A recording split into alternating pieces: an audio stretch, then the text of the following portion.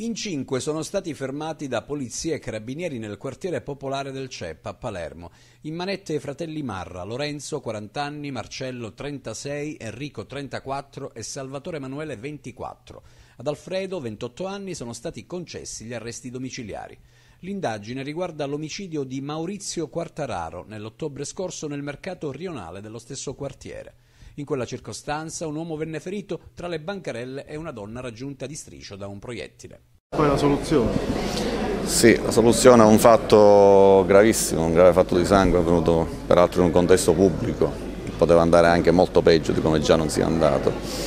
che ha visto un intrecciarsi di elementi investigativi molto forti che in un periodo anche abbastanza breve hanno condotto alla, alla scoperta degli autori di questo grave fatto criminoso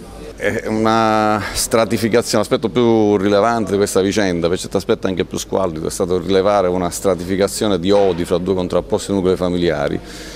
un qualcosa che si protraeva da oltre un decennio e che nell'ultimo periodo aveva avuto una recrudescenza dovuta ad ulteriori episodi, di cui l'ultimo è avvenuto proprio durante il mercato rionale a proposito della,